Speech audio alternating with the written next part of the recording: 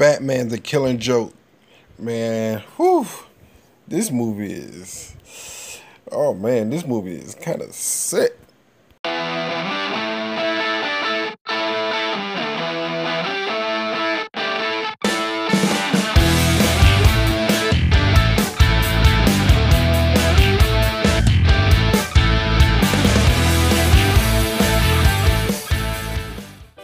Okay, guys, I'm letting you know that this is going to be a spoilers review. Now, you've been warned. Um, the first 20 minutes of this movie has nothing to do with the comic book. Now, in the beginning of the movie, it established um, Batgirl's, um, how can I say, her temperament and um, the way she acts and whatnot.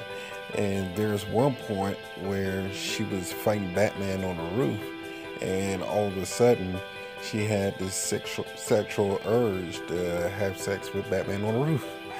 Um, Batman grabbed her butt, and they did the deed.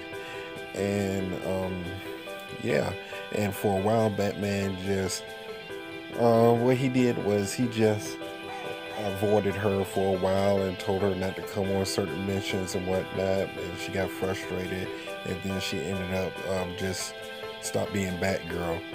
And then after that, that's when they start following the comic book, where um, they follow it to almost to a T, to where the Joker went to Commissioner jo- Gordon's house and shot her and paralyzed her, stripped her of her clothes, and started taking nude pictures of her and whatnot.